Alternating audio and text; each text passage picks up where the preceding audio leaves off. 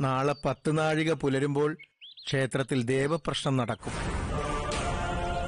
ക്ഷേത്രം കൊള്ളയടിക്കാൻ ശ്രമിച്ച നമ്മുടെ പേരൊന്നും ജ്യോത്സ്യം വിളിച്ചു പറയാൻ പോകുന്നില്ല. പക്ഷേ അത് നമ്മളാണെന്ന് ബോധ്യപ്പെടുന്ന തരത്തിലുള്ള ചില ലക്ഷണങ്ങൾ അയാൾ നിരത്തിയിരിക്കും.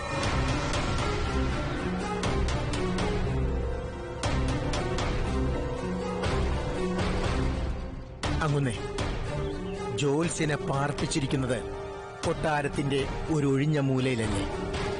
ഇന്ന് രാത്രി അയാളെ തട്ടിക്കളയാനുള്ള ഒരു പദ്ധതി ഒരുക്കിയാലോ? മണ്ടത്തരം പറയാതെ ചക്രപാണി. ജോത്സ്യൻ ആക്രമണം നേരിട്ട സ്ഥിതിക്ക് ശക്തമായ കാവലിലായിരിക്കും അയാളെ പാർപ്പിച്ചിരിക്കുക. ആ മണികണ്ഠൻ തന്നെ ഉറക്കം ഉപേക്ഷിച്ച് അവിടെ കാവൽ നിൽക്കാനും മടിക്കില്ല. ആ സ്ഥിതിക്ക് അങ്ങനൊരു പദ്ധതി നടക്കില്ല.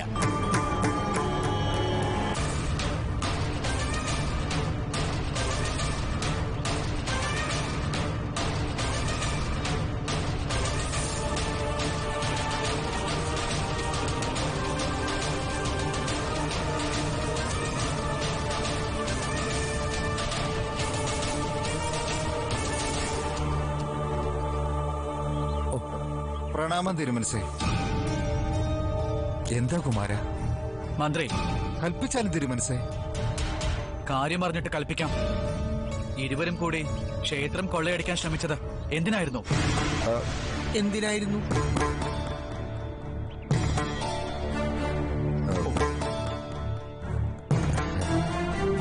ഏത് ക്ഷേത്രം?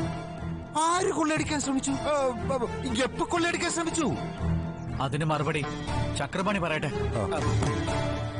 അല്ല അതിപ്പോ അടിയൻ? ചക്രപാണി. ഓ അടിയൻ. അടിയൻ ഒരു ക്ഷേത്രവും കൊള്ളയടിക്കാൻ ശ്രമിച്ചിട്ടില്ല. അപ്പോൾ മന്ത്രി ശ്രമിച്ചിട്ടുണ്ട്. എന്നല്ലേ അർത്ഥം? ഗ്രന്ഥപ്പുരയുടെ കാവലാളാകാൻ മന്ത്രിക്ക് വലിയ താല്പര്യമായിരുന്നല്ലോ.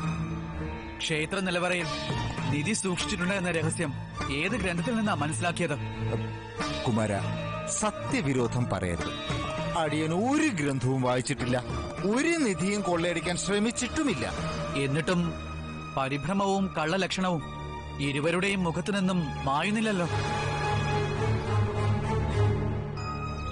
ഒന്നും ഒളിക്കാൻ നോക്കണ്ട. കുമാരവർമ്മൻ എല്ലാം എന്നോട് തുറന്നു പറഞ്ഞു കഴിഞ്ഞു.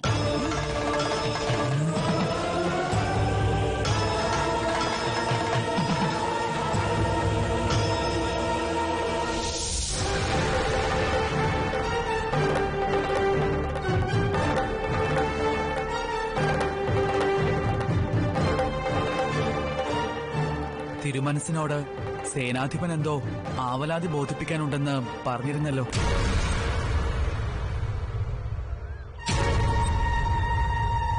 പെട്ടെന്ന് പൂജാരിയും ഭക്തരും വന്നതുകൊണ്ട് അത് നടന്നില്ല. എന്തായിരുന്നു സേനാധിപന്റെ ആവലാതി എന്നറിഞ്ഞാൽ കൊള്ളാം. ഒന്നും കൊട്ടാരത്തിൽ അറിയിക്കരുതെന്ന് അടിയന്റെ പഗ്നി ചട്ടം കെട്ടിയിട്ടുണ്ട്. എന്നാലും കുമാരനോട് അടിയൻ ഒളിക്കുന്നില്ല. പറഞ്ഞോളൂ. അടുത്തൊരു ദിവസം രാത്രിയിൽ അടിയന്റെ മകൾ അരുൾമൊഴിയെ കാണാതായി. ഞങ്ങൾ പലയിടത്തും അന്വേഷിച്ചു. കണ്ടില്ല. ഒടുവിൽ അവൾ വീട്ടിൽ തിരിച്ചെത്തി. അവൾക്ക് വിഷ്ണു ഭഗവാന്റെ സ്വപ്ന ദർശനമുണ്ടായി എന്ന്. ഭഗവാൻ അവളെ ക്ഷേത്രത്തിലേക്ക് കൂട്ടിക്കൊണ്ടുപോയതാണത്രേ. എന്നിട്ട്? ക്ഷേത്രത്തിലെത്തിയപ്പോൾ വിഷ്ണു ഭഗവാൻ പെട്ടെന്ന് മറഞ്ഞു. ശ്രീകോവിലിന് മുമ്പിൽ അവൾ വിഷമിച്ചു നിൽക്കുമ്പോൾ മന്ത്രിയെയും ചക്രപാണിയെയും രണ്ട് കള്ളന്മാരെയും അവൾ കണ്ടു. അസമയത്ത് ക്ഷേത്രത്തിൽ അരുൾമൊഴിയെ കണ്ട് മന്ത്രി ശരിക്കും വിരണ്ടുപോയി. മന്ത്രിയും കൂട്ടരും അവളെ കൊല്ലാനായി ഓടിച്ചു. പെട്ടെന്നാണ് ഒരു പാമ്പ് മന്ത്രിക്കും കൂട്ടർക്കും മുന്നിൽ പ്രത്യക്ഷപ്പെട്ട് പണം ഉയർത്തിയത്.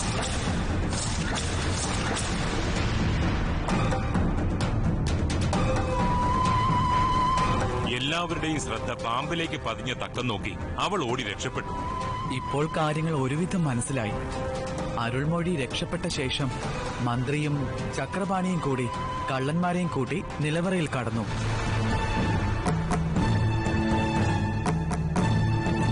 നിധി കൊള്ളയടിക്കാൻ ശ്രമിച്ചപ്പോൾ അഞ്ചു ഭണമുള്ള പാമ്പ് പ്രത്യക്ഷപ്പെട്ട് അവരെ ഓടിച്ചു. അതെ കുമാര. അത് തന്നെയാവും സംഭവിച്ചിട്ടുള്ളത്. അതെ എല്ലാത്തിനും സാക്ഷ്യം വഹിക്കാൻ വിഷ്ണു ഭഗവാൻ തന്റെ ഭക്തയായ അരുൾമൊഴിയെ ക്ഷേത്രത്തിലേക്ക് കൂട്ടിക്കൊണ്ടുപോയി. അതേ കുമാര അടിയന്റെ മകളുടെ പുണ്യം.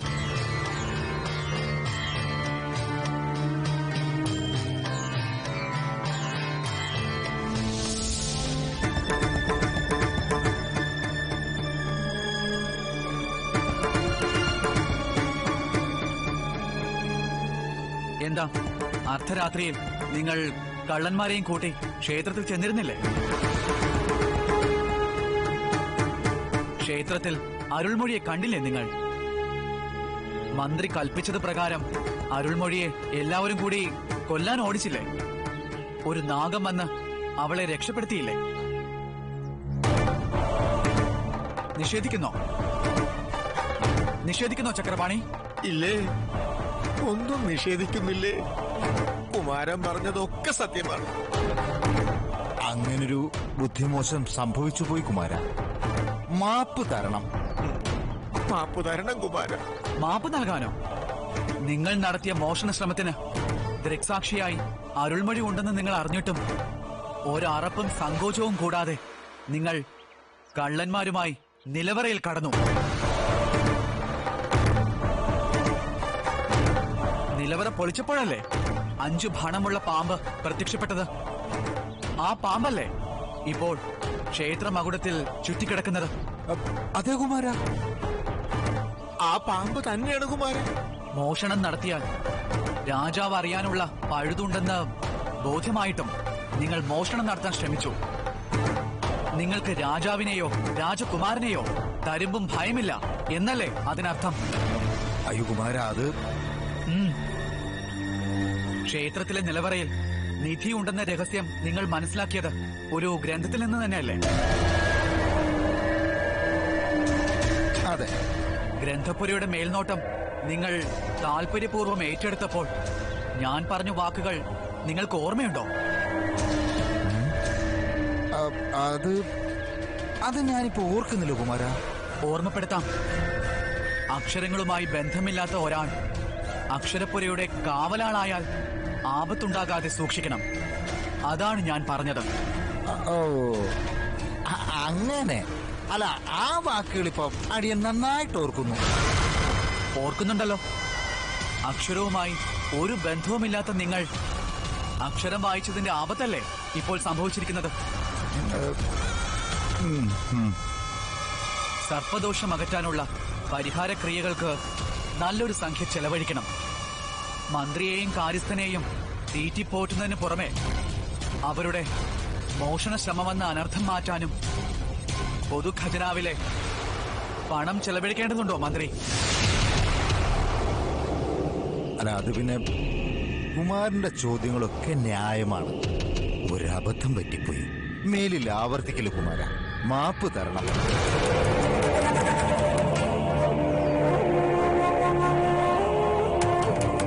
മന്ത്രി എങ്ങുന്നിന്റെ നാറുന്ന കുബുദ്ധിക്ക് ചൂട്ടുപിടിക്കേണ്ട അവസ്ഥ അടിയനും വന്നുപോയി. മേലിൽ ആവർത്തിക്കല്ല കുമാര? മാപ്പ് തരണം. ഞാൻ മാപ്പ് തരാം. അനന്തശായിയായ ഭഗവാൻ സർപ്പപ്രമുഖനായ വാസുകി അവരിൽ നിന്നും മാപ്പ് നേടാനുള്ള മാർഗങ്ങൾ നോക്കിക്കൊള്ളുക.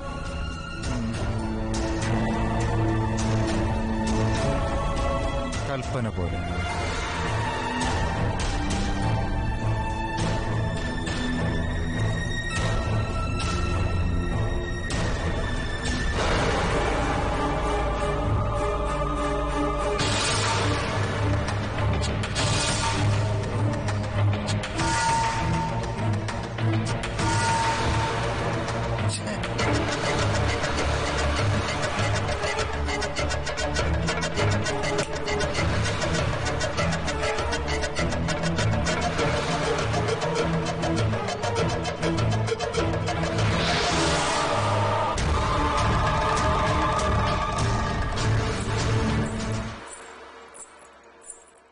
സർപ്പകോപത്തിന് ഹേതുവായി പ്രവർത്തിച്ചിരിക്കുന്നത് ഏതോ വൻ ശക്തികളാണ്. ദൈവപ്രശ്നം നടത്തിയാൽ തങ്ങൾ പിടിക്കപ്പെടുമെന്ന് ഭയന്നിട്ടാണല്ലോ അവർ വഴിമധ്യേ ജോത്സരെ ആക്രമിക്കാൻ ശ്രമിച്ചത്. ദൈവപ്രശ്നത്തിനായി മുന്നിട്ട് പ്രവർത്തിക്കുന്ന മണികണ്ഠകുമാരനെയും അവരാക്രമിക്കുമോ എന്ന് നാം ഭയപ്പെടുന്നു. ആ ഉത്കണ്ഠ നമുക്കുമുണ്ട്.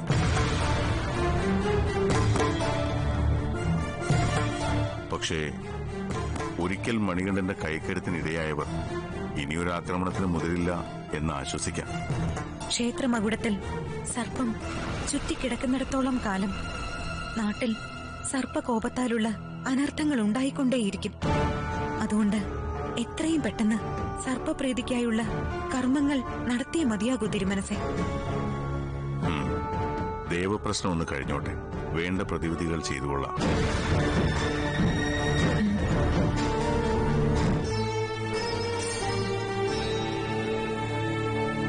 പിതാവേ ഞാൻ ക്ഷേത്രത്തിലേക്ക് പുറപ്പെടുകയാണ്. ദേവപ്രശ്നം വിജയകരമായി നടക്കാൻ മാതാപിതാക്കളുടെ പ്രാർത്ഥന ഉണ്ടാകണം വളരെ സൂക്ഷിക്കണം കുമാര. ദേവപ്രശ്നം എങ്ങനെയും മുടക്കാൻ ചിത്രശക്തികൾ അണിയറയിൽ പതിയിരിക്കുന്നുണ്ടെന്ന് ഓർമ്മ വേണം. മകനെ. വേണ്ടത്ര ഭടന്മാരെയും കൂട്ടി വേണം ക്ഷേത്രത്തിലേക്ക് പുറപ്പെടാൻ. ഭയക്കേണ്ട മാതാവേ ദേവപ്രശ്നത്തെ ഭയക്കുന്ന ചിത്രശക്തികൾ പുറത്തെങ്ങുമുള്ളവരല്ല പന്തളത്ത് തന്നെ ഉള്ളവരാണ്.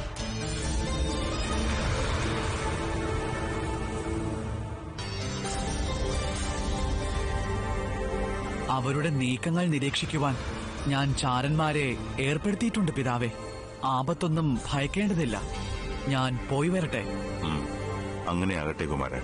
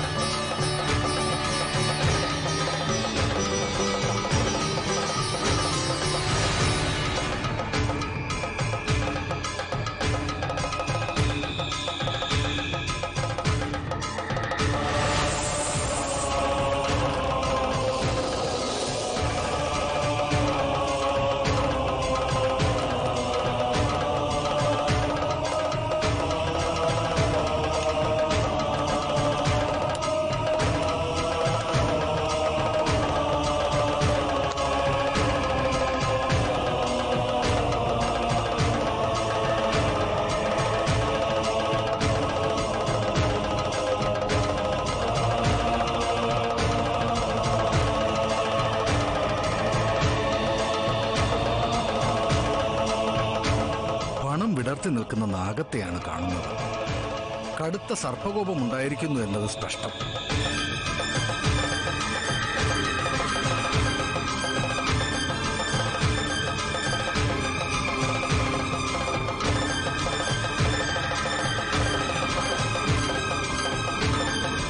അടിയന്റെ പൂജയുടെ പിഴവുകൊണ്ടാണോ സർപ്പകോപം ഉണ്ടായതെന്നറിയാൻ ആഗ്രഹമുണ്ട് കുമാര ഉം. സർപ്പകോപത്തിന്റെ ഹേതു എന്താണെന്ന് നോക്കണം തിരുമേനി.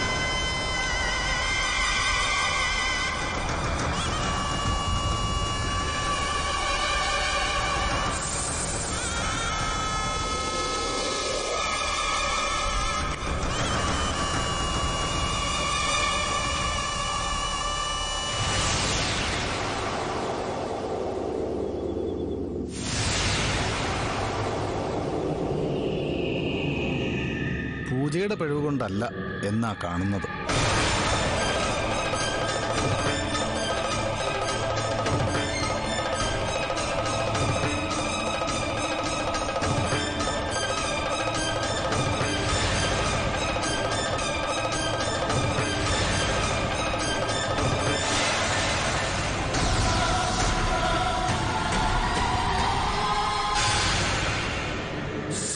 ക്ഷേത്രത്തിനകത്തുള്ള ഒരു നിലവറയിൽ ഭഗവാന്റെ വിലപ്പെട്ട മുതലുകൾ പൂർവികർ സൂക്ഷിച്ചിട്ടുണ്ട്.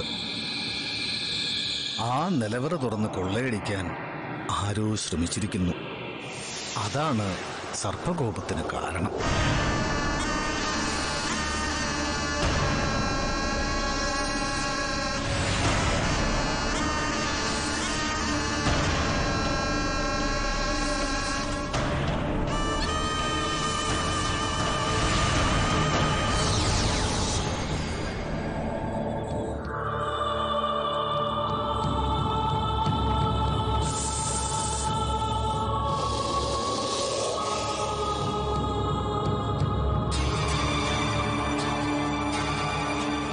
സംഘത്തിൽ നാലു പേരുണ്ടായിരുന്നു. രണ്ടുപേർ പന്തളത്തിന് പുറത്തുള്ളവർ. പിന്നെയുള്ള രണ്ടുപേർ ക്ഷേത്രവും പരിസരവും നന്നായി അറിയുന്നവർ.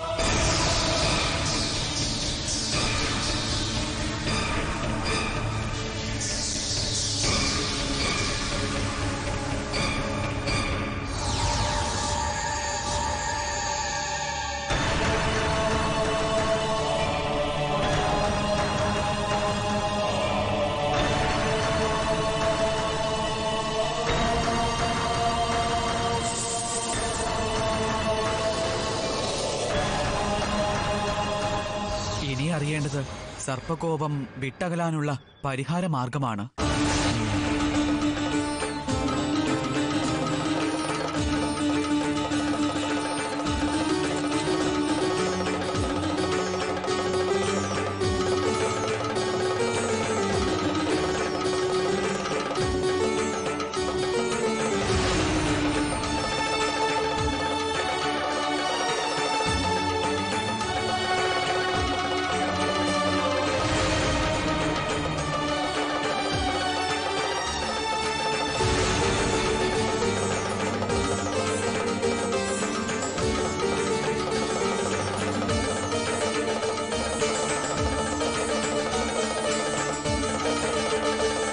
ഒരു വിദഗ്ധനായ ശില്പിയെ കൊണ്ട് കുറ്റമറ്റ ഒരു നാഗശില നിർമ്മിക്കുക.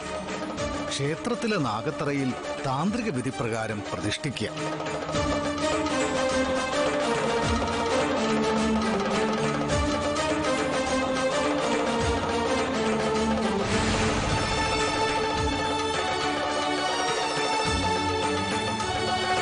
പിന്നെ യഥാവിധി നിത്യവും നാഗപ്രീതിക്കുള്ള കർമ്മങ്ങളും നടത്തുക. സർപ്പം മകുടത്തിൽ നിന്നും വിട്ടകലും. സർപ്പകോപം നീങ്ങും.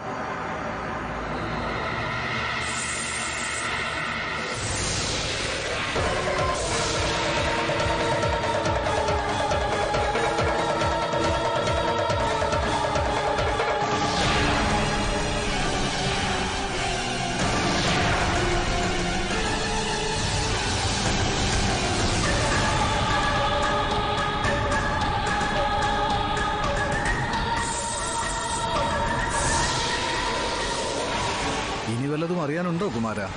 തൽക്കാലം അറിയേണ്ടതൊക്കെ അറിഞ്ഞു കഴിഞ്ഞു.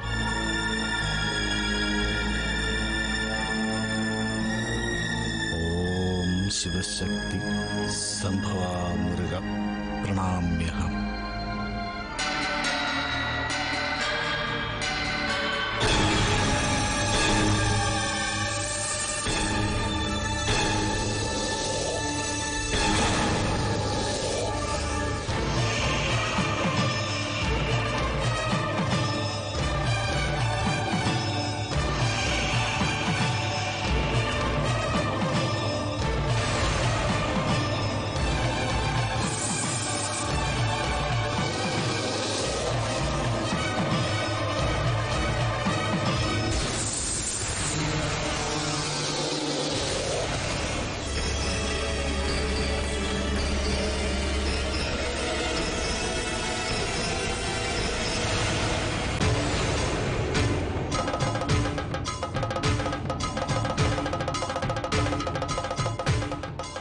എന്തായാലും സർപ്പം ഒരു സത്യമാണെന്നും അതിന് അപാര ശക്തിയുണ്ടെന്നും കൊള്ളയടിക്കാൻ ശ്രമിച്ചവർക്ക് ഇപ്പോൾ ബോധ്യപ്പെട്ടിരിക്കും അല്ലേ?